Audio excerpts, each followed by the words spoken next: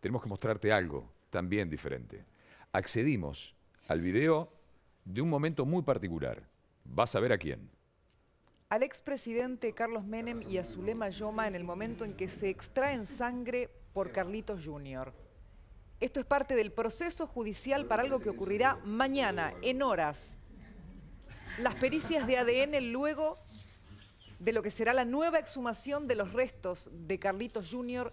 a 22 años de su muerte. Un verdadero documento. Estas imágenes muestran lo que sucedía el 8 de junio en la casa del expresidente Carlos Menem. Allí estaban Zulema Yoma, Zulemita, los representantes del cuerpo médico forense y un equipo de antropología forense. Este video fue grabado por Zulemita. Es parte del documento que te vamos a presentar hoy. Allí vemos cómo el expresidente presta su dedo para la extracción.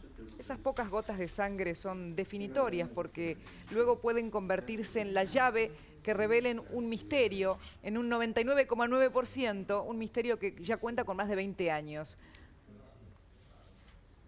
van a ser comparadas con los rastros genéticos que mañana se obtengan en la exhumación de los restos de su hijo en el cementerio islámico de San Justo. Allí está el expresidente y también se la ve a Zulema Yoma aportando su propia muestra de sangre.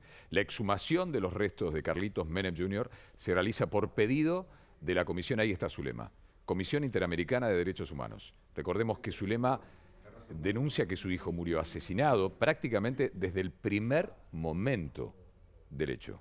En la comparación de rastros genéticos también será analizado el cráneo de Carlitos, que está en la morgue judicial de la ciudad de Buenos Aires.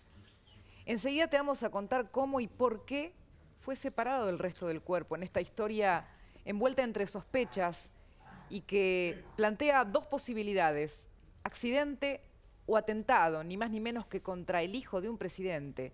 Además, el testimonio de Zulema Yoma y el de un testigo que por primera vez habla del caso, dos décadas después.